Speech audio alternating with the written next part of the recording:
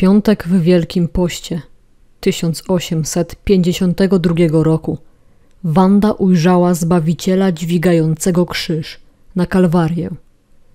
Jezus zasygnalizował jej też wtedy zagrożenia dla bytu Polski już po odzyskaniu niepodległości.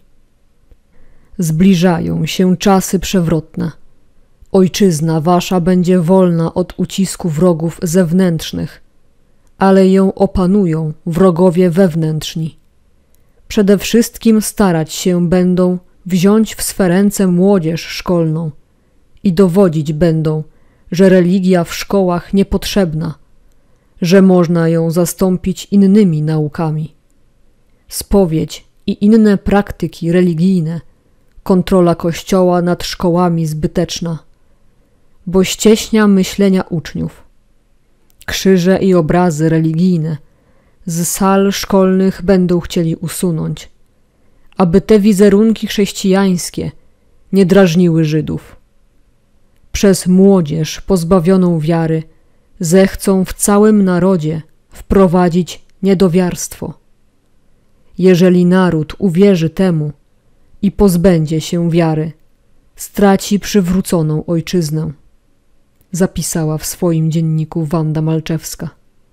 Wanda Malczewska dostała też upomnienie do narodu polskiego, dane nam przez Maryję.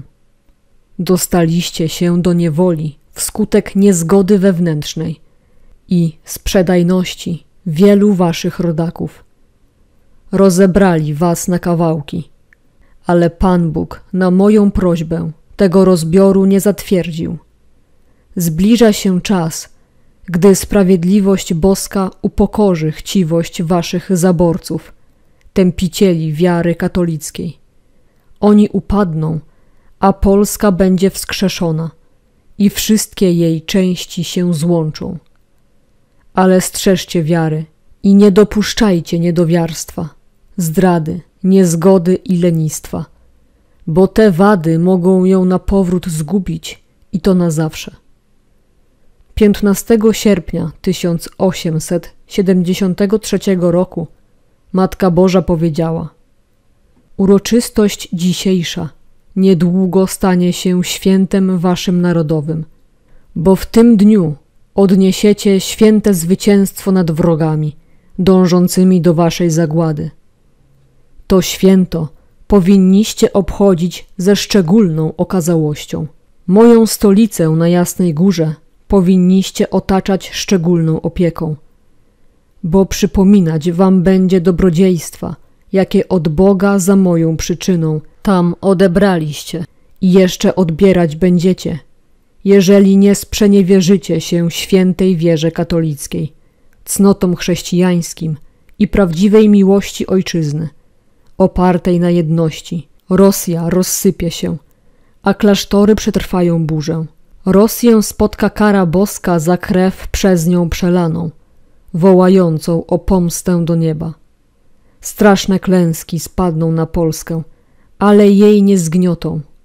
Polska się ostanie, o ile sobie nie da wiary odebrać i będzie zawsze przed murzem Kościoła. Dobrych i świętych kapłanów mieć będziecie – jeżeli rodzice będą wychowywać dzieci moralnie i religijnie, zaś karcić będą nie przekleństwem, ale przyzwoitymi słowami. Jeżeli w szkołach nauczyciele moralnie i według zasad religijnych będą kształcić młodzież, jeżeli społeczeństwo nie będzie dawać zgorszenia, ale świecić będzie dobrymi przykładami, wtedy będziecie mieć kandydatów do stanu duchowego – a duchowieństwo będzie święte. Wanda Malczewska usłyszała również następujące upomnienia dane nam przez Chrystusa. Modlitwa świętych kapłanów jest mi najmilsza, bo są moimi pomocnikami. Jam ich wybrał i posłał, aby pracą gorliwą, popartą świętością życia, szli w moim imieniu na cały świat – i rozpalali ogień, który przyniosłem z nieba. Miłość moją rozpalaj w młodzieży, którą zepsuty świat, szatan i własne namiętności ciągną za sobą, odrywając od Kościoła Świętego i prowadzą na wieczną zgubę. Jak ogrodnik żałuje młodych, szczepionych drzewek, gdy padnie na nie zaraza. Tak ja żałuję młodzieży, gdy traci niewinność, wpada w swawolę i nabawia się zaraźliwych chorób. Gdy młodzież się zepsuje, ojczyzna straci odważnych żołnierzy, a Kościół kandydatów do stanu duchownego. Nastąpi zdziczenie społeczeństwa ludzkiego. Młodzież utrzymacie w porządku, tylko zasiejcie w jej sercach miłość do mnie i mojej matki. A zachowując miłość do mnie, każdemu kusicielowi powiedzą: Idź precz, bo dla miłości Jezusa i jego matki grzeszyć nie mogę.